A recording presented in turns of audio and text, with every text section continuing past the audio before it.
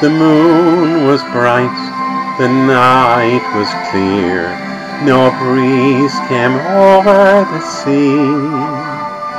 When Mary left her highland home and wandered forth with me,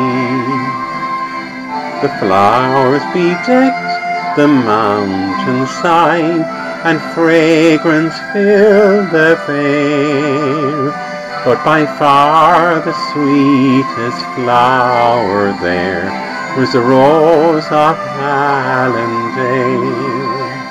Oh, the rose of Allendale, sweet rose of Allendale, by far the sweetest flower there was the rose of Allendale. And when my fevered lips were parched on Africa's burning sands, she whispered hopes of happiness and tales of distant lands. My life had been a wilderness, unblessed by fortune's wheel. Had fate not linked my love to hers, the rose of Allendale.